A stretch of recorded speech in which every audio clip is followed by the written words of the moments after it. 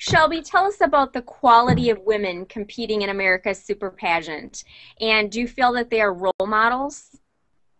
They're big role models.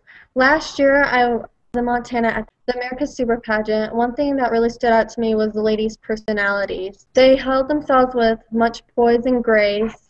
I have been inspired to compete in America's Super Pageant because of their quality and how they care about people and others in their lives. The queens that I have met are such good role models. They take the bar to a high level. So if you want to be around quality people who care about the life of other people, you should go to America's Super Pageant.